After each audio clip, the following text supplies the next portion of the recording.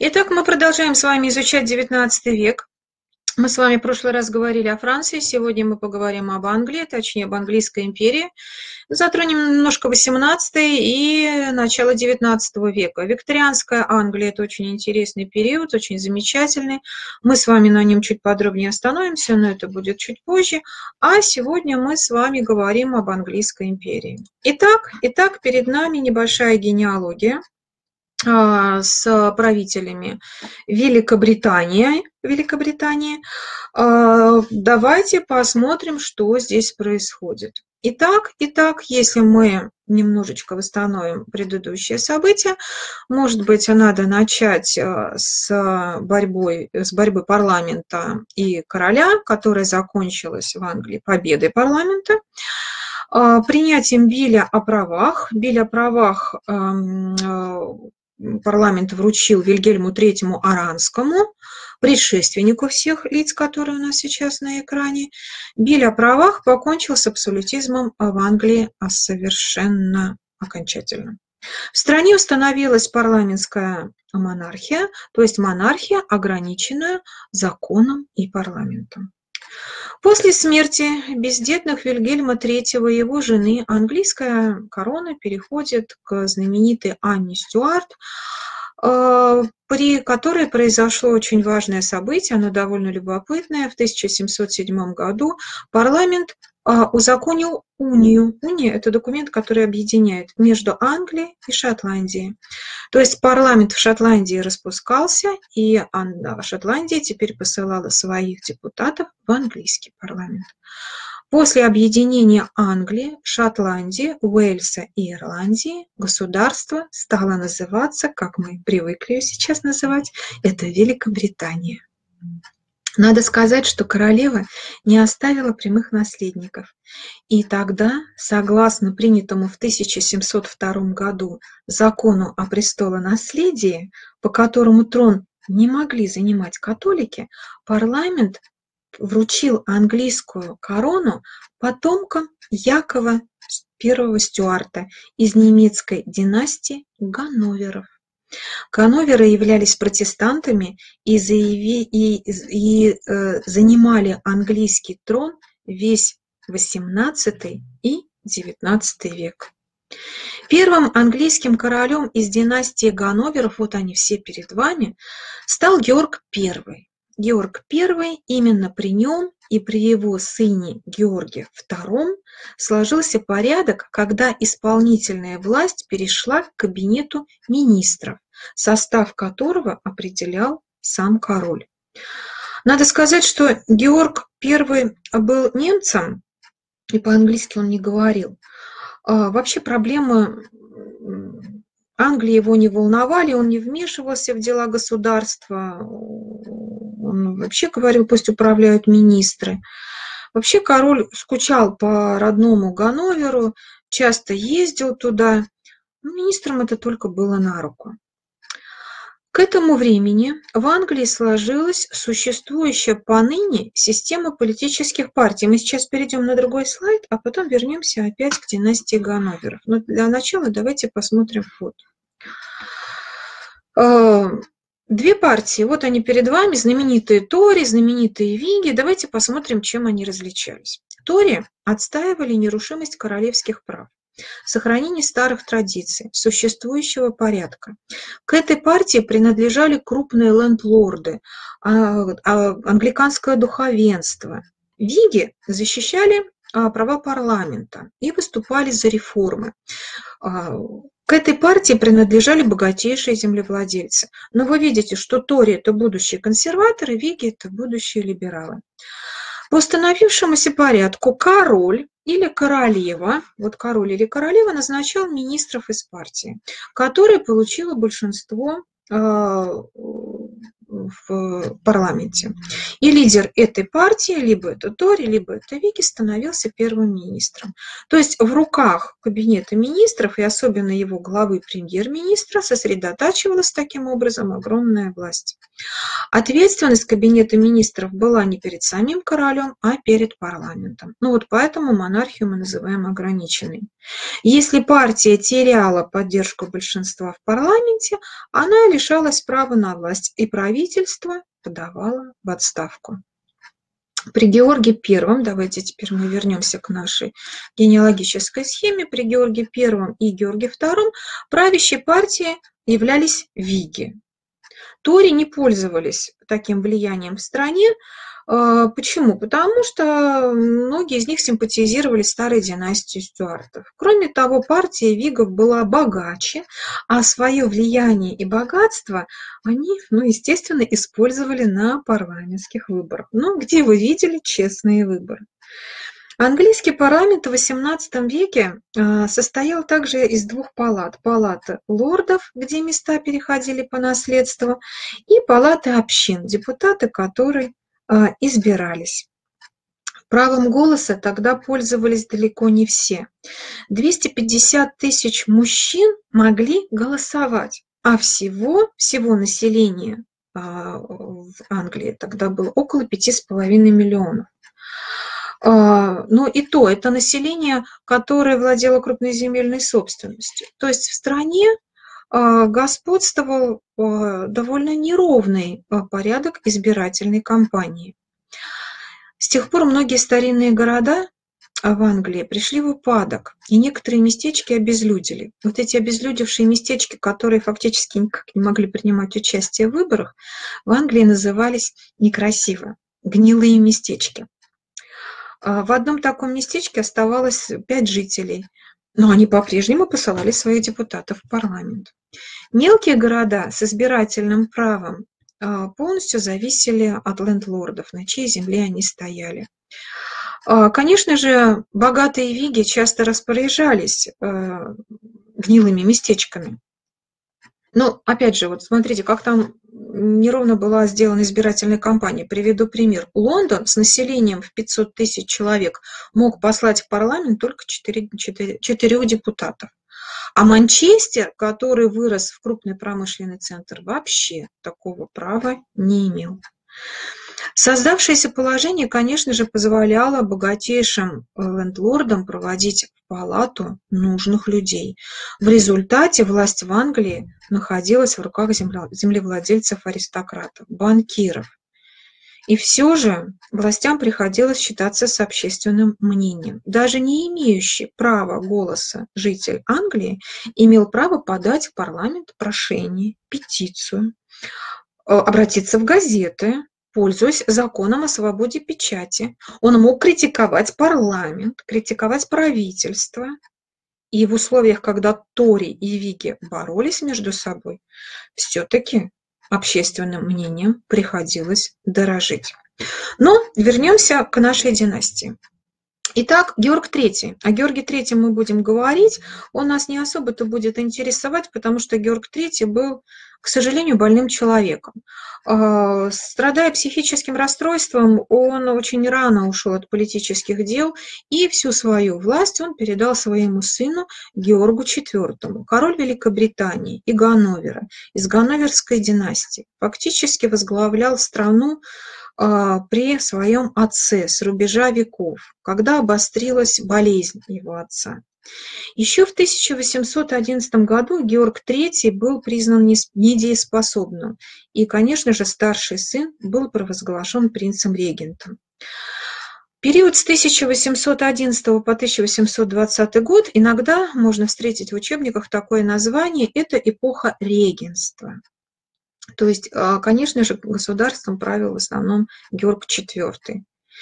Вильгельм IV, сын Георга III, второй сын, а, предпоследний монарх Ганноверской династии, мы о них будем говорить, и Виктория, Александрина Виктория, королева Соединенного Королевства Великобритании а, и Ирландии, последний представитель Ганноверской династии на троне Великобритании. Вот мы с вами сделали обзор династия английской. И давайте мы продолжать рассмотреть с вами дальше. Итак, Георг III, еще раз повторю, сторонник абсолютизма, человек, который пытался править и во время жизни своего отца. Вы видите, что Викский кабинет его поддерживает до 1770 года. Но э, на политическую арену выходит его э, младший сын Уильям Питт старший, да, Уильям Питт старший, а есть еще Уильям Питт младший, это его сын, перед нами Уильям Питт старший, премьер-министр, министр иностранных дел, один из руководителей викской группировки патриотов, сторонников проведения экспансионистской внешней политики с целью захвата новых колоний. Уильям Питт-старший проводил довольно реакционную политику, и надо сказать, что его довольно быстро отправили, отправили в отставку. Ну а теперь давайте разбираться, что с этим, что произошло. Дело в том, а, перед нами а, бунт лорда Гордона, мятеж в Лондоне 1780 года. Мы с вами уже говорили о том, что люди, которые даже не имели права голоса, все равно могли заявить о каких-то своих правах. И надо сказать, и надо сказать, что и заявляли.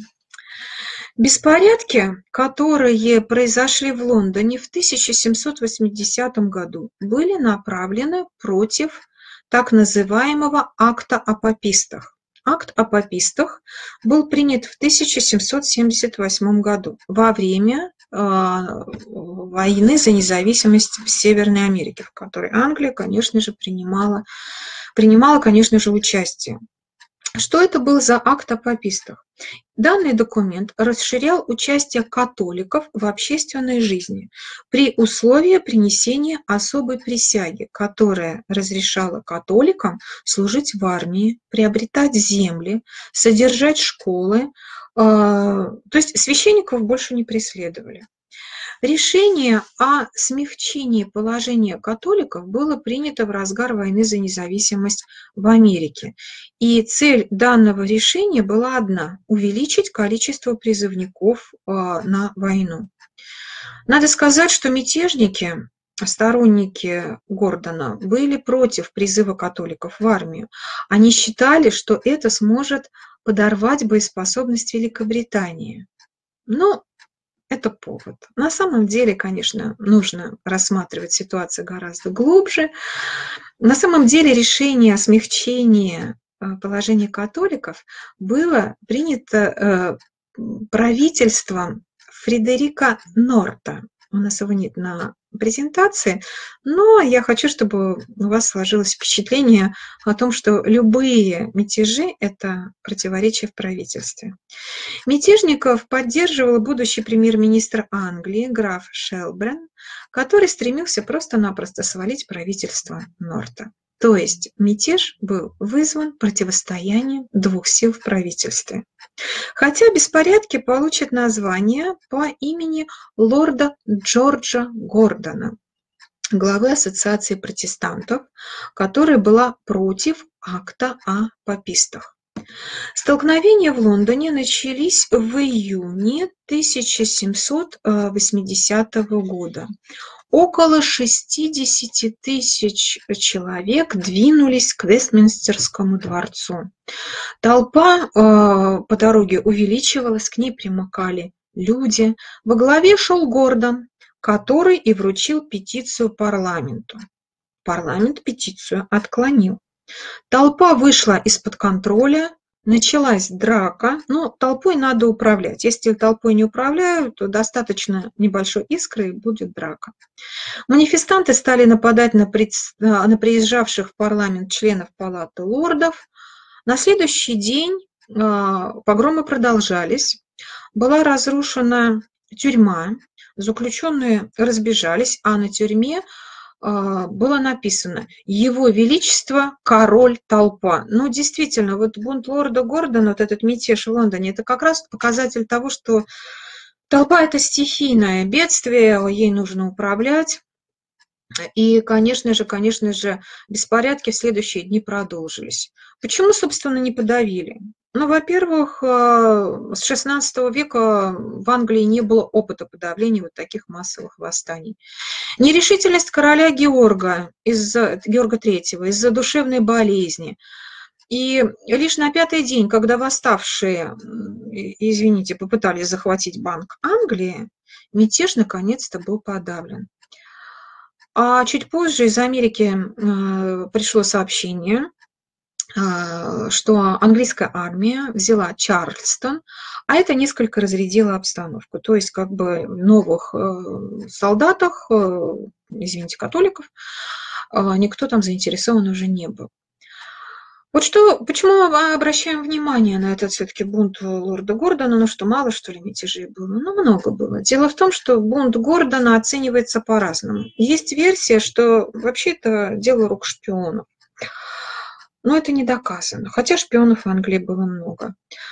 Во-первых, сам бунт, мятеж низов а, вызвал беспокойство. Почему? Потому что толпу боялись. Но это как бы прелюдия революции.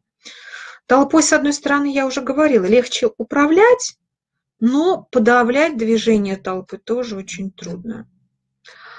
А, движение толпы нанесло ущерб репутации Великобритании, потому что в политику стали вовлекаться несознательные, неуравновешенные и даже психически нездоровые, нездоровые люди, плюс преступники. Это всегда страшно, такой толпой управлять тяжело.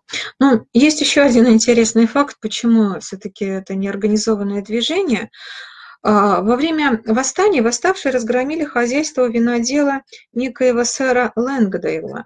Ну, разгромили, конечно, винодел, да, выпили все запасы. А, после подавления бунта пострадавшим католикам государство пыталось как-то ущерб возместить, да, им давали суды, а, им давали деньги, а, да, католики брали, и лишь винодел отказался тогда от денег, и ему разрешили беспошлино перегонять спиртные напитки в течение года. Но за перегонку изготовления крепких спиртных напитков брали пошлины, соответственно, лорд очень быстро а, восстановил свой убыток и не был в обиде. Но, опять же, доказательство того, что толпа, она бывает неуправляема. Дальнейшее развитие ситуации в Англии связано с именем а, Уильяма Питт-младшего, Впервые он возглавил кабинет, когда был совсем молодым, ему было всего 24 года. Он самый молодой премьер-министр за всю историю Великобритании, сторонник реформ, лидер новых Тори. Обратите внимание, почему новых.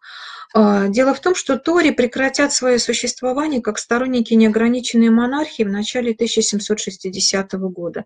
И только через два десятилетия появятся так называемые новые Тори а, под руководством уже Уильяма Питта-младшего, и только потом они станут консерваторами. А, сейчас еще раз повторюсь, что сторонников этого направления консерваторами, иногда вы, может быть, слышите это даже в новостях, иногда продолжают традиционно называть Тори. Итак, Уильям Питт младший и его политика. А, в 1784 году а, Уильям Питт младший провел Биль об уравни... управлении Индией. Об управлении Индией. Полное название, оно очень-очень длинное, я полностью его приводить вам не буду, только первую часть его зачитаю. Это акт о лучшем регулировании и управлении делами Ост-Индской компании и британскими владениями в Индии. И там продолжение следует, очень большой документ. Что это означало для э, Англии? Была образована управляющая комиссия, президент которой фактически де-факто э, стал министром по делам Ост-Индской компании. Это было очень выгодно Англии, потому что, да, конечно, и международный престиж, экономическое положение Великобритании э, возрастало. Комиссия обладала властью над всем, что касалось гражданской, военной, доходной деятельности компании. Положения, установленные актом, оставались неизменными до э, конца э, правления кампании в Индии. Естественно, что э, положение страны значительно поднялось. Великобритания проводила и активную внешнюю политику. Кстати, а кто из вас знает, что означает буква ВС? А то скажут какие-то там значки непонятные, кому-то известно ВС. Нет, это не сражение. ВС от латинского versus. Versus это в переводе с латыни означает против. Один против другого. Да, против, молодец, против, конечно же. А, против, то есть э, Пруссия против Голландии, Турция. Вот э, иногда на схемах ставят такие а, аббревиатуры такой ВС. Итак, а, внешняя политика Великобритании э, довольно активная. Англо-голландская война 1780-84 годов между Великобританией и Нидерландами, в результате которой в Нидерландах была ослаблена центральная власть, а британские подданные получили а, возможность свободной торговли а, в Голландии и участвовать в Остинской кампании. Да, тоже плюсик в сторону Великобритании.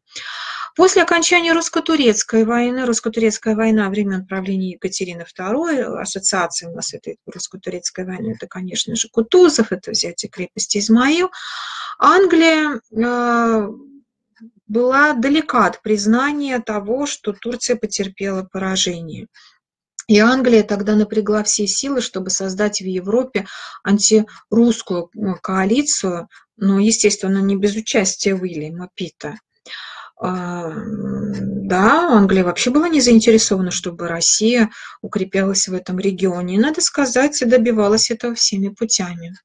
Русско-шведская война 1788-90 годов при политической поддержке Великобритании, Франции и Турции. А, Шведская, Швеция объявила войну России. Совершенно бесполезная война а, за якобы возврат э, утрат в Северной войне. Ни Россия тогда, ни Швеция к этой войне не были готовы и не хотели этой войны.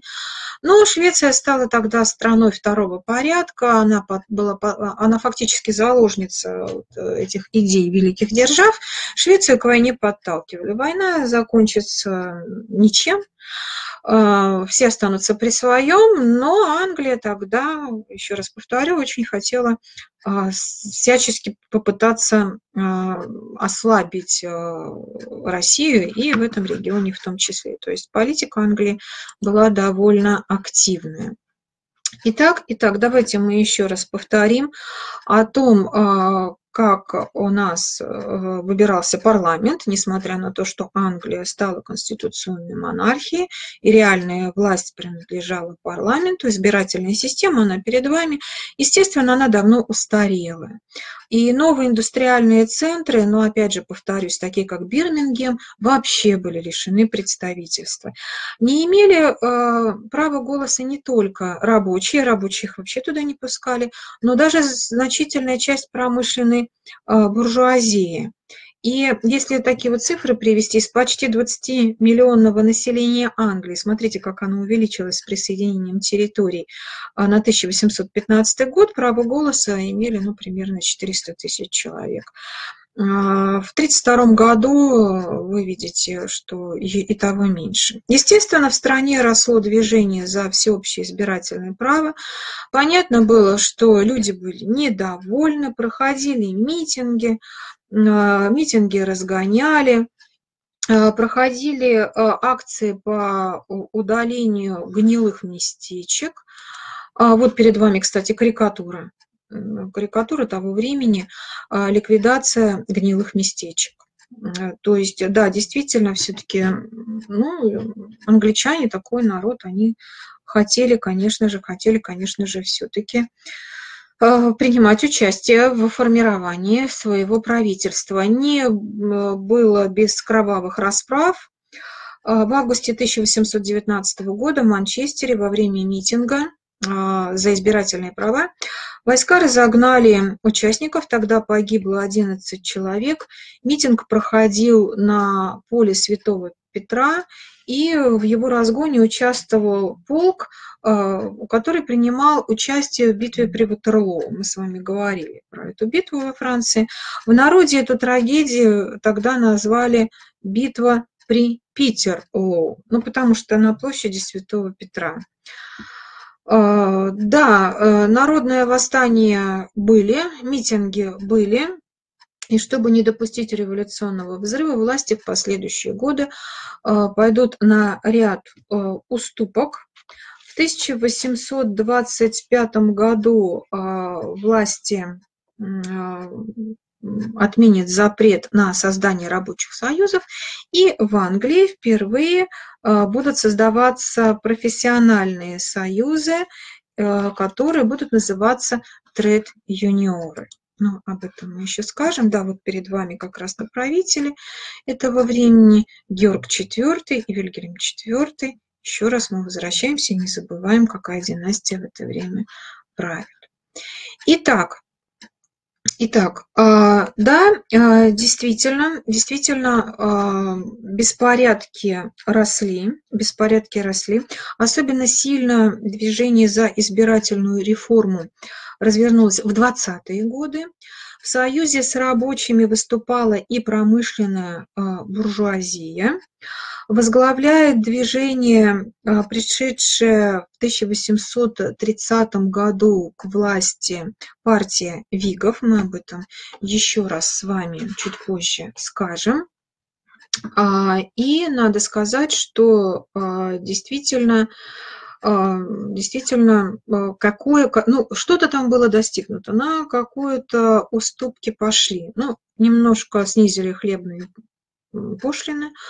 А, был принят биль об эмансипации католиков, но этого было мало. Самые главные проблемы, связанные с избирательными правами, решены не были.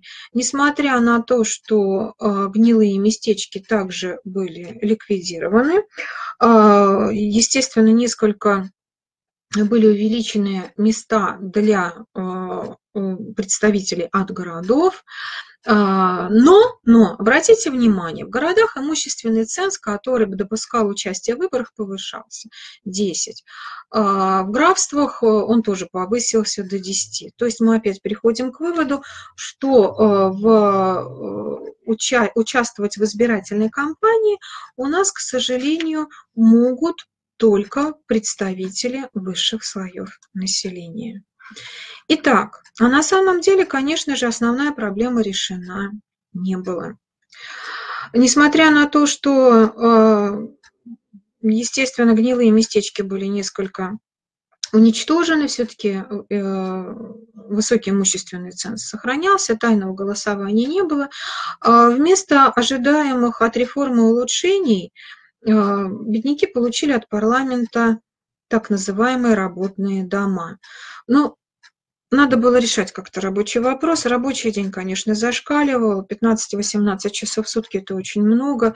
А, зарплата невысокая, плохие условия труда. Вы видите перед вами карикатура, а, где а, ну, фактически да, ребенок, да, маленький человек стоит перед хозяином. Естественно, все это приводило к вспышкам различных болезней, туберкулез, ТИФ. Появлялись безработные – в 1834 году был издан этот ужасный указ, я сейчас расскажу, что такое работные дома, а, так называемый закон о бедных в 1834 году вышел в Англии. А, этот закон разрешал оказывать благотворительную помощь на дому только старым и больным. Всех остальных нуждающихся отправляли в так называемые работные дома. Что это такое? Ну, ужасные условия жизни, скудная еда, изнурительный труд. Заставляли дробить камни, расплетать канаты. В работных домах жен могли разлучить с мужьями, детей с родителями. Покидать работные дома не разрешалось. Все это было похоже на тюремное заключение. Многие бедняки предпочитали голод э, жизни в работных домах.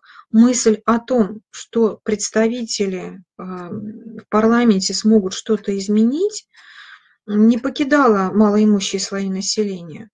Жизнь рабочих и вот этих неимущих слоев населения была настолько тяжелой, и на уступки идти не хотели, что они решили продолжать движение за реформы. А тут еще и ситуация, ситуация связанная с кризисом перепроизводства.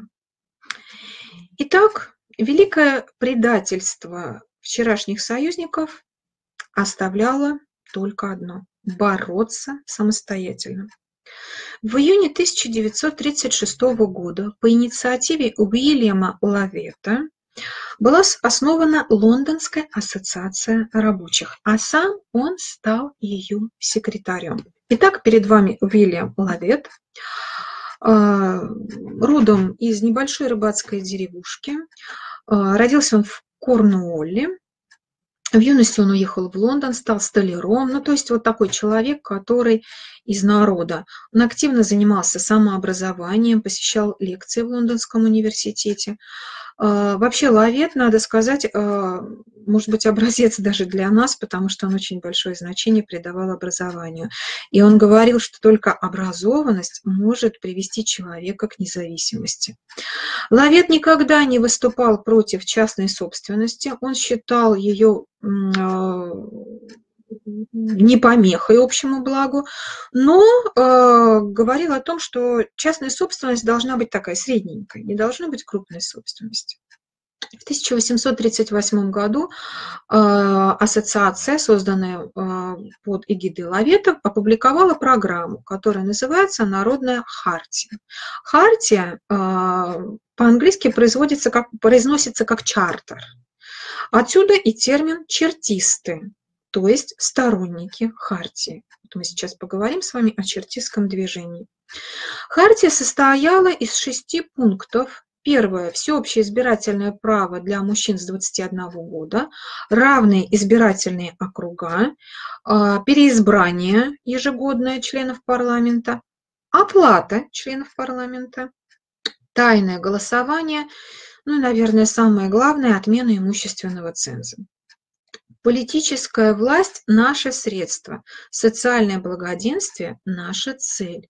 Так говорили чертисты. А, чертисты рассуждали так. Если мы добьемся всеобщего избирательного права, то власть окажется в наших руках.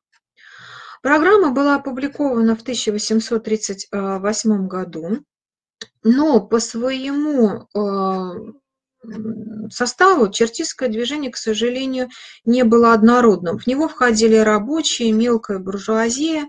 И в 1839 году происходит раскол э, между сторонниками моральной силы, которые признавали только конституционные методы борьбы, и сторонниками физической силы, которые не исключали э, применение насилия.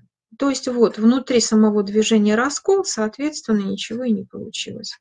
Несмотря на то, что по всей стране чертисты развернули агитацию за хартию, энтузиазм их э, был так велик, что мало, конечно, кто сомневался в их успехе.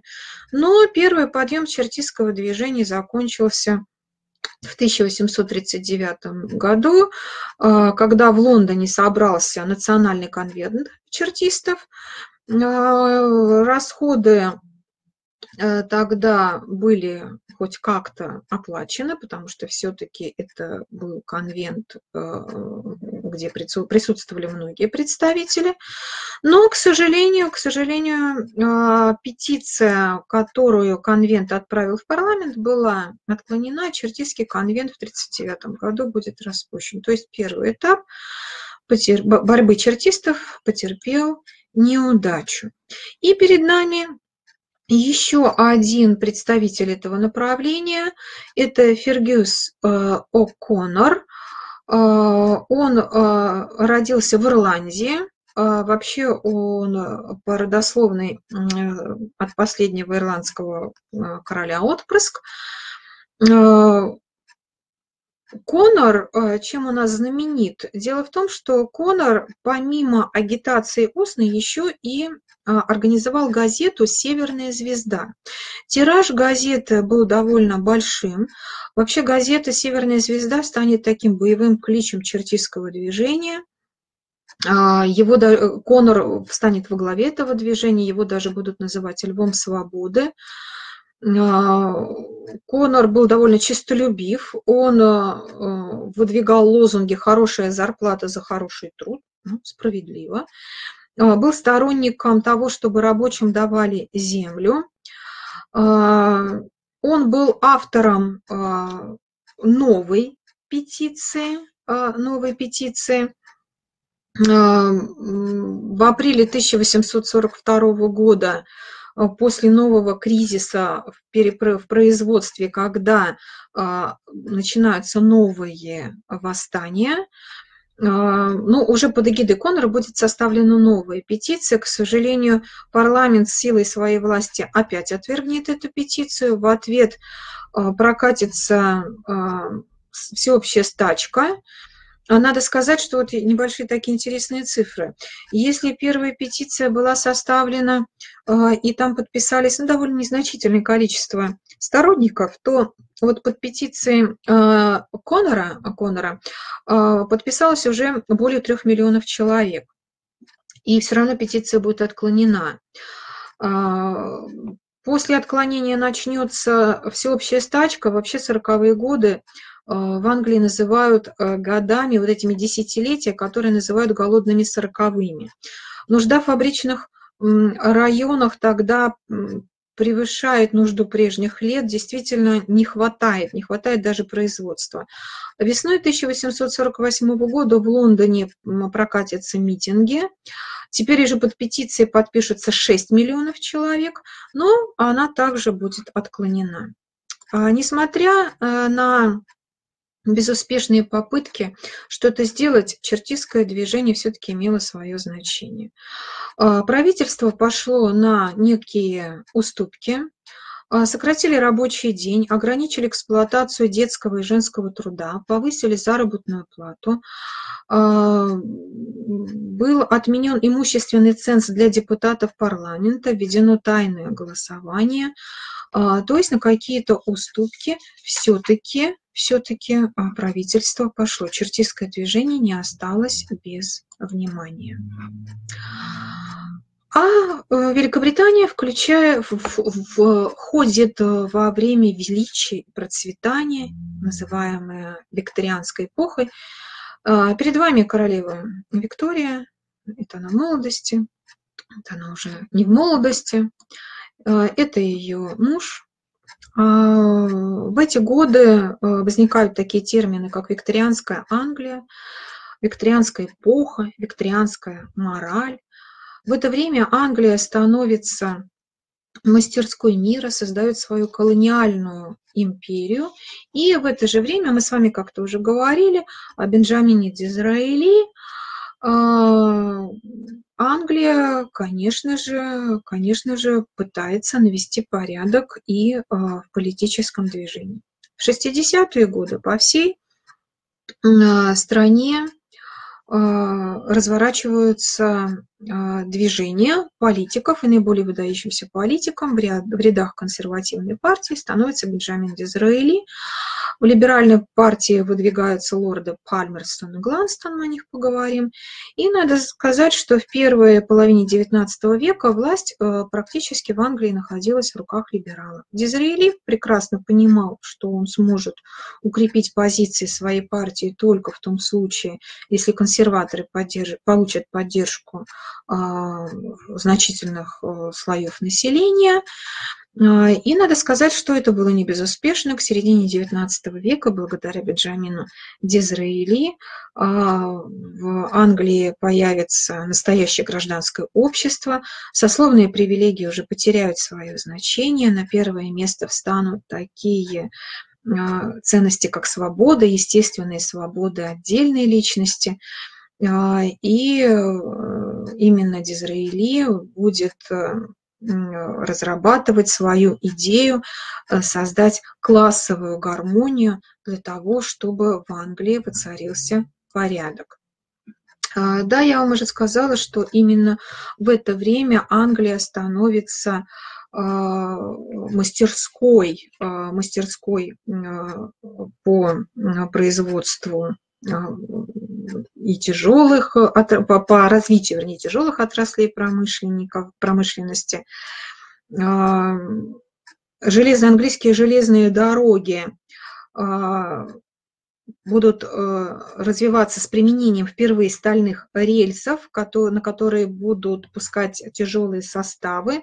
Кстати, половина железных дорог будет принадлежать железнодорожному королю Джеймсу Гудзону.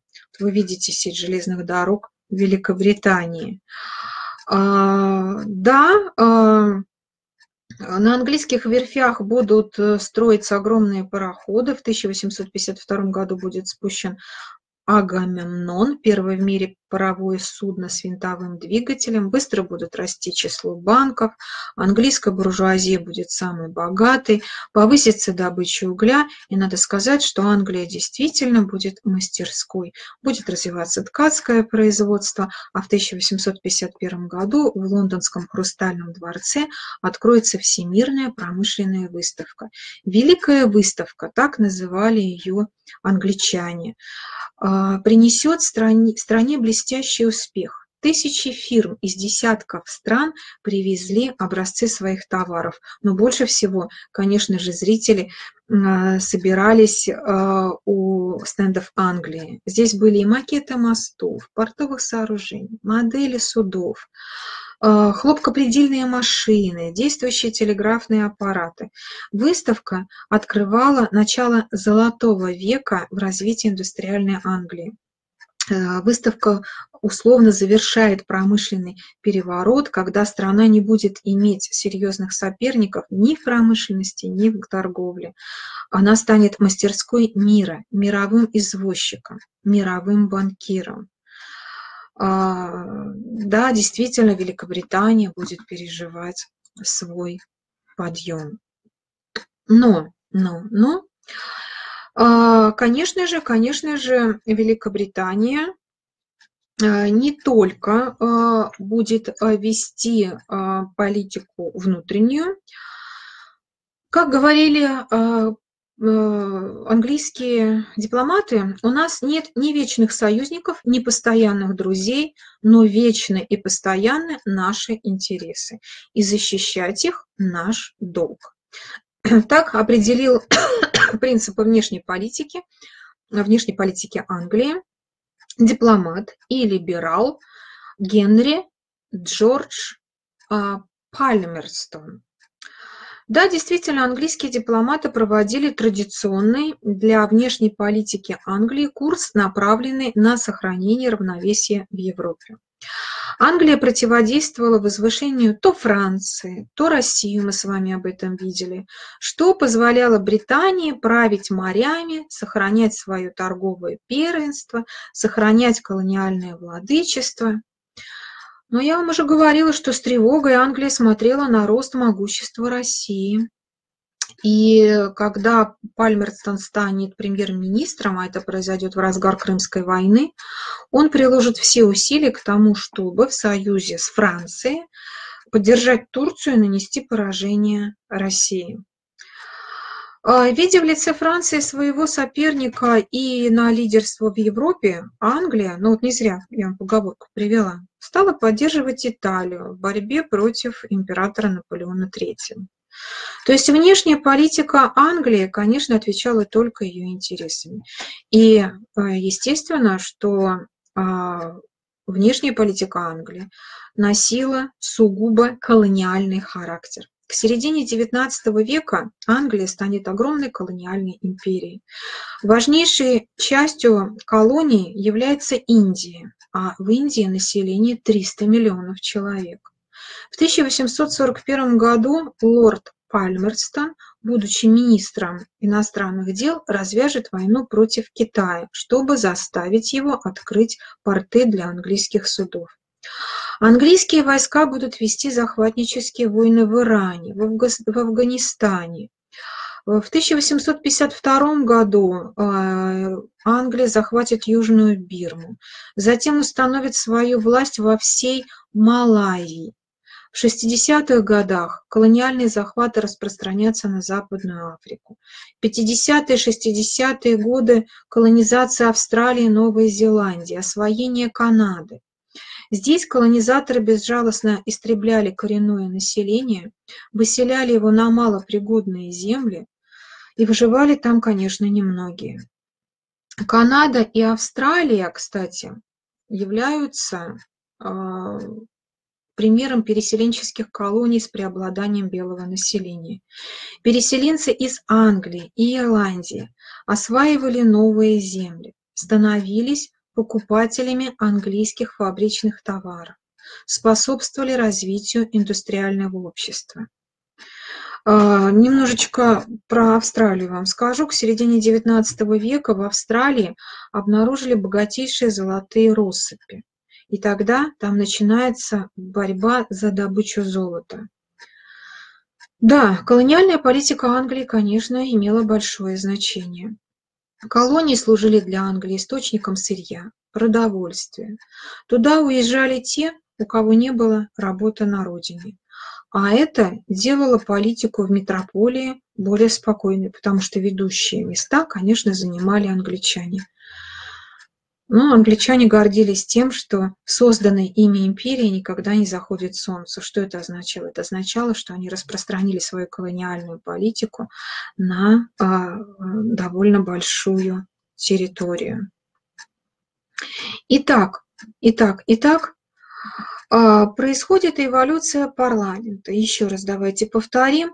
Тори становятся консервативной партией, Виги становятся партией либеральной, про Бенджамина э, Дизрели мы с вами уже говорили, но есть еще один представитель, это, это правительство Уильяма Гладстона, а, сформированное в 1867 году, а, проведенная ими реформа, направленная на демократизацию страны. Вы видите результат перед вами. Была отменена а, во-первых, были уничтожены гнилые местечки, да, то, то, что вызывало беспокойство, было введено тайное голосование, и избирательное право было предоставлено всем владельцам и съемщикам домов. Кабинет министров теперь нес ответственность только перед парламентом.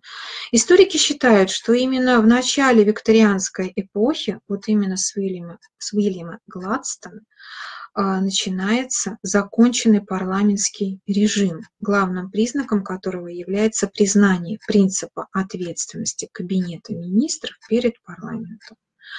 То есть мы можем сделать вывод, что вот Британская империя, вы видите, какая она перед вами, довольно-таки большая, э, действительно выходит на, а, в начале XIX века на свой процесс модернизации, но процесс модернизации проходит в обстановке острых социальных конфликтов. Правящие круги все чаще обращаются к проведению политических и социальных реформ.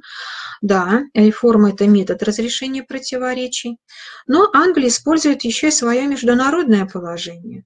Находится Англия на перекрестке морских путей, имеет свои природные богатства, передовую технику, квалифицированный рабочий труд, Англия становится мастерской мира и достигает господства на мировом рынке. Ну и еще раз повторю, что в середине XIX века страна является самой богатой среди европейских государств в Британской империи и называет себя страной, в которой никогда не заходило солнце. А что Польша? Ну, о Польше мы поговорим чуть позже. Польша – это Европа, и Польша не обладала такими а, колониями, как обладала Англия. Кстати, еще один интересный момент про колонии. А, были а, колониями, колонии называют еще доминионами. Были так называемые белые доминионы, и были просто доминионы. Вот я сегодня вам сказала, что белые доминионы – это как раз те доминионы, в которых а, правление а, принадлежало а, избранным властям. Но, как вам известно, э, Канада до сих пор э, является чем? Ну, как таким пережитком доминиона, потому что у нас английская королева, она королева и Канада в том числе. Вот, поэтому Польша, конечно, государство тоже очень интересное, мы будем о нем говорить чуть позже, как оно чувствовало себя в XIX веке. А, но а, Польша не достигнет, конечно, такой колониальной политики, как Великобритания. Хотя, ну, можно сравнить, да, ведь все равно э, зависит от масштабов. Зависит от масштабов, зависит от деятельности правительства. Так, на этом мы с вами заканчиваем. Всем большое спасибо за внимание. Встретимся в следующую субботу и продолжим с вами изучать знаменательный и безумный XIX век. Всем до свидания.